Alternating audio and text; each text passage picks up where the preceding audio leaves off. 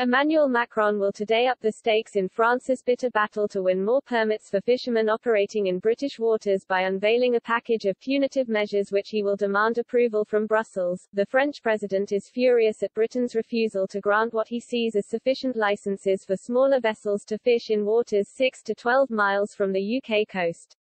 In total just 15 permits out of 47 have been granted. A total of 200 more have been issued for French boats to operate in the wider economic zone around the British Isles. Measures, which would need EU approval, may include increasing the price of electricity to Jersey, as well as restrictions for British ships trying to unload their catches in France.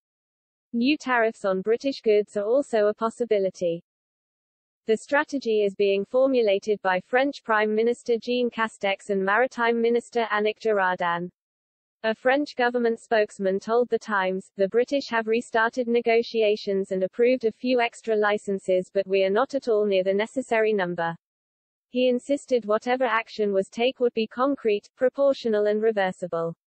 Another French official added, we have to remain within proportional sanctions to avoid affecting, even more, the already deteriorated relationship with the UK.